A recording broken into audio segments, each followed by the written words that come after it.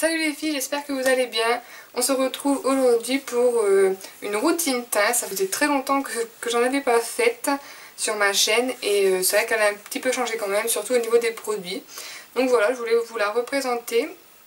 Et euh, donc là c'est un teint vraiment que je fais tous les jours au matin, c'est pas un teint que je fais pour aller en soirée, là c'est vraiment le, mon teint de tous les jours. Donc j'ai un peu décaler mon cadre car ici c'est mon lit et encore mon copain qui, dort donc euh, voilà. Euh, je ne souhaitais pas le, rentrer dans le cadre de la vidéo. Donc voilà je vous laisse bah, avec les explications de la vidéo. commencer par appliquer mon fond de teint qui est le Nude Magic de L'Oréal euh, celui-ci. Donc j'utilise jamais la petite éponge qui a fourni avec. Et je l'utilise avec une éponge que je viens tremper dedans. Donc il est quasiment fini pour pas dire euh, fini, mais je vous en parlerai euh, dans une autre vidéo. Euh.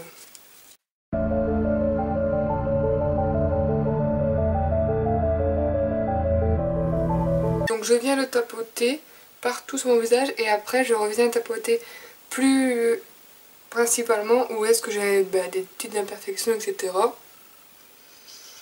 Donc c'est vraiment pas un fond de teint qui couvre des masses, Surtout plus il, se finit, moins il couvre je trouve. Donc moins de matière déjà. Donc voilà, de toute façon je vous en parlerai dans, une prochaine vidéo. Je vais pas m'étendre sur, sur lui aujourd'hui.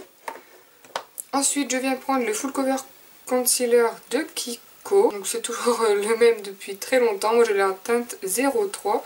Et lui je viens l'appliquer au doigt, ben, là où il en a besoin. En ce moment.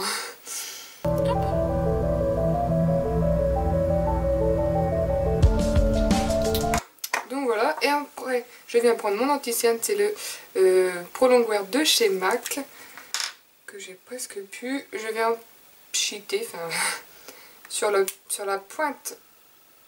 Hop. Donc je forme vraiment un léger triangle, on va dire. Hein. je mets beaucoup moins de matière que si je faisais un teint, euh, par exemple, de soirée... Euh, vraiment à fond couvert. Là, euh, je fais vraiment un léger triangle. Cet anti est vraiment trop top, je l'adore. Depuis le temps que je voulais le tester.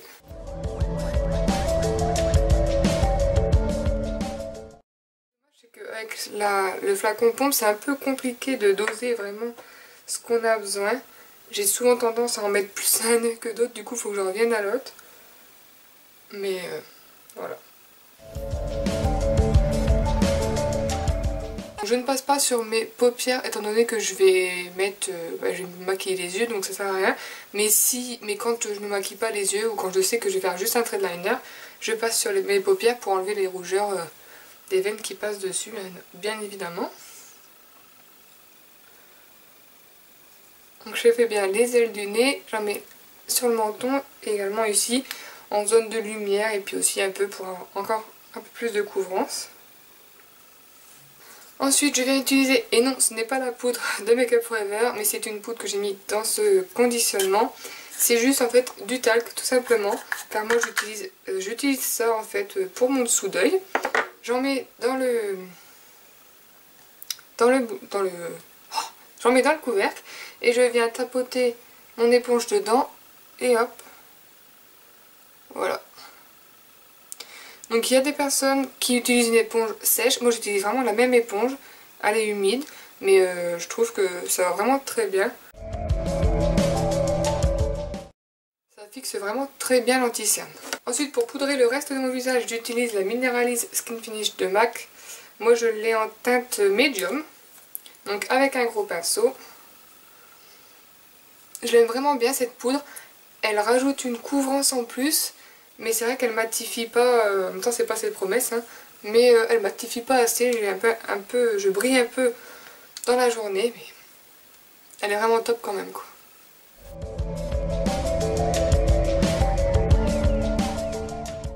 Je passe légèrement en dessous des yeux mais sans matière, hein, pour en gros enlever l'excédent de, de talc qu'il y avait quoi. Donc voilà, et je vais ensuite venir réchauffer mon teint avec le bronzer, le Master Cult de chez Maybelline. C'est un nouveau que je suis en train de tester.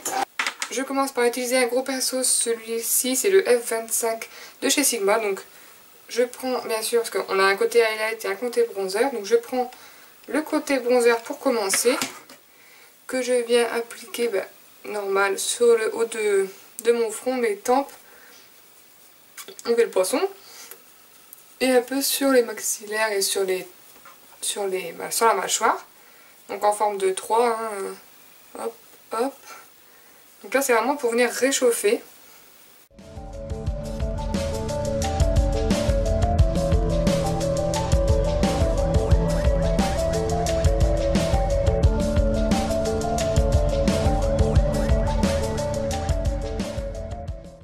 Pour l'instant j'ai juste réchauffé mon teint.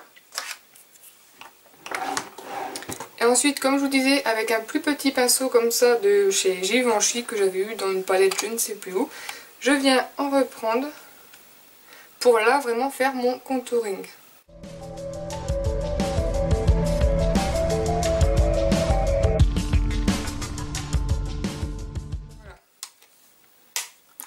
J'aime vraiment trop ce, petit pinceau. C'est vraiment pile poil la taille qu'il faut pour, euh, bah, pour faire son contouring.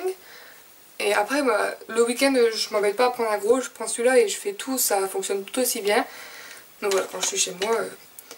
Ensuite, je reprends mon gros pinceau poudre ou alors mon kabuki, mais là, je ne sais pas où il est. Et je viens estomper un peu tout ça. Hop, fini. Donc voilà. Euh, ensuite, je viens mettre mon blush. C'est toujours le blush de Too Faced. Euh, je ne sais plus son nom, c'est effacé, mais c'est celui-ci.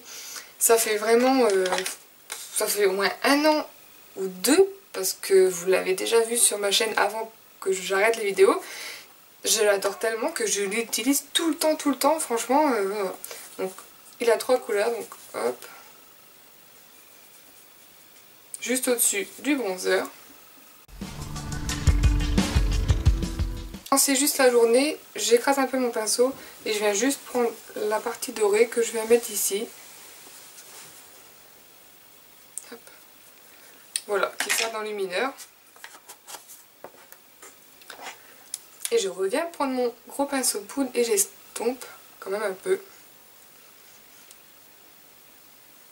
Voilà. Alors, euh, dernière étape, mes sourcils. Alors, il euh, n'y a pas grand chose à faire étant donné que je les ai fait semi-pigmentés. Enfin, j'ai fait ma semi-pigmentation euh, il y a à peu près déjà une semaine. Et là j'y retourne dans deux semaines pour faire ma retouche. Mais elle me l'a fait euh, beaucoup trop clair en fait. Donc bah, je trouve que. Donc du coup je rajoute... Je rajoute... Je rajoute... Donc du coup... Du coup... Donc du coup je rajoute... Mais bref donc du coup, je rajuste un petit peu la couleur avec un crayon un peu plus foncé, euh, bah, mon crayon d'habitude.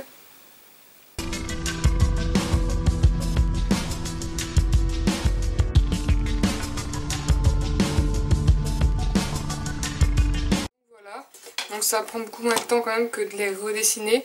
Et je, je légèrement ma tête car je trouve qu'elle me l'a fait un peu trop, euh, un peu trop fine. Donc euh, je vais lui redire tout ça à la retouche et euh, elle va m'améliorer tout ça, il n'y a pas de souci, c'est à ça que ça sert les retouches. si vous voulez, j'essaierai de vous emmener avec moi lors de ma retouche. J'avais déjà pris quelques vidéos lors de ma première pigmentation. Donc, donc voilà. Et donc voilà pour le teint terminé. Ça c'est vraiment un teint Bon là ça prend un peu plus de temps vu que je parle, vu que je vous montre les produits, mais euh, c'est vraiment un teint basique que je fais euh, bah, tous les jours. Tous les jours franchement je fais ça. Ensuite euh, je vous ferai je pense une autre vidéo sur un teint plus parfait quand je sors en soirée. c'est vraiment un teint qui avec plus de produits, plus, plus photoshopé. Donc j'espère que cette vidéo sur ma routine teint vous aura plu. Ça faisait très longtemps que j'en avais pas fait et, vu que ça a quand même un peu changé, les produits ont changé, je voulais vous la refaire. Donc voilà, je vous dis euh, à bientôt, je vous fais de gros bisous et on se retrouve euh, dans une prochaine vidéo. Bye bye